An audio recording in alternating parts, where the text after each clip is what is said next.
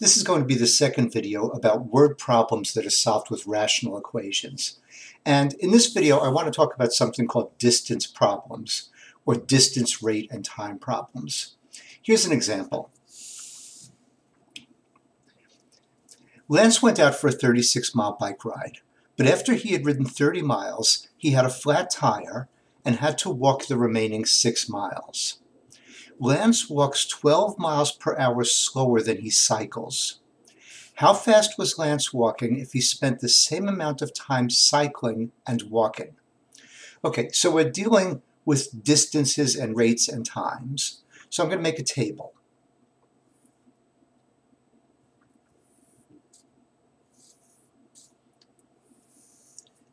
And in the table, I'll have a column for the distance, and a column for the rate and a column for the time.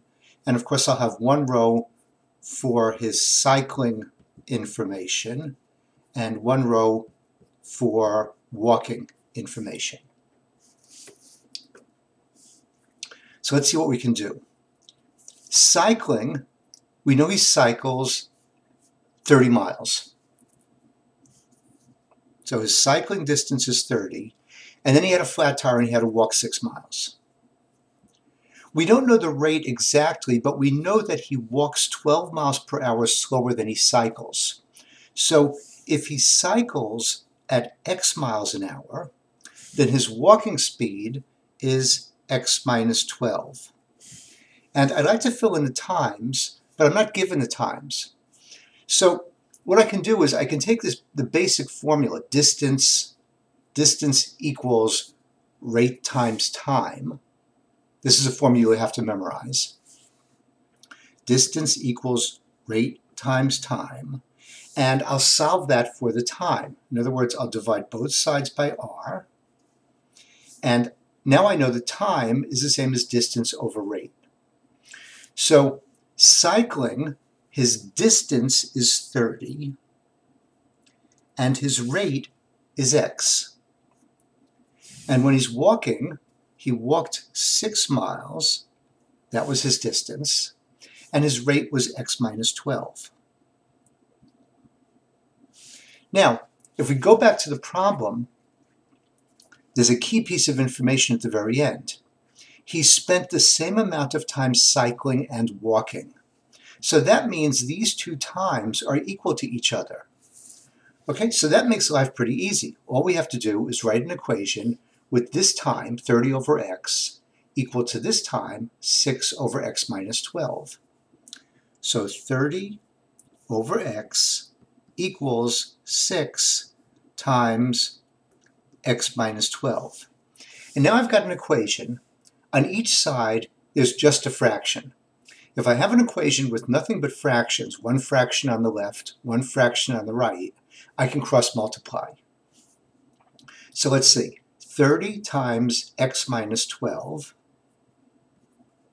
I'll just write that out here and distribute it as the next step, is going to equal x times 6, or 6x. So let's distribute this 30.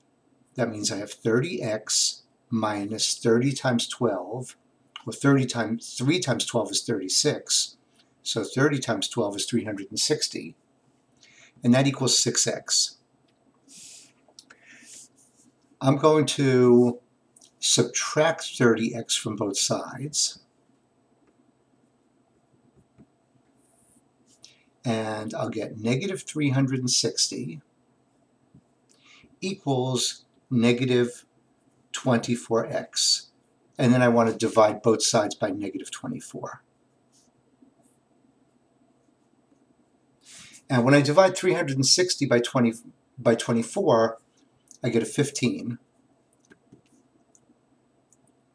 Negative 24x divided by negative 24 is just x. So x equals 15. Now let's go back to the problem and make sure we're answering the right question.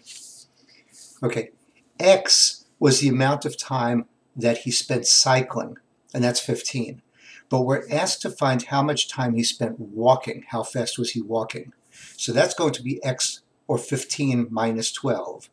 So the answer to this problem would be that his walking speed was 3 miles per hour.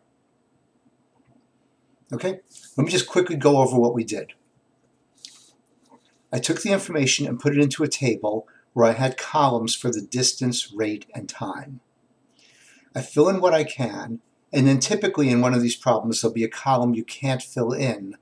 But if you convert the distance equals rate times time problem and find either what time would equal or what rate would equal, then we can fill in that last column. I was told that the times were the same. So I could take this time, the 30 over x, and make that equal to the walking time, the 6 over x minus 12. I set up an equation,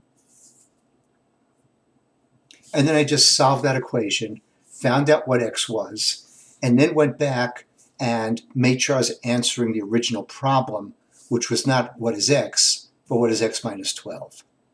Okay? And that's all there is to it. Take care. I'll see you next time.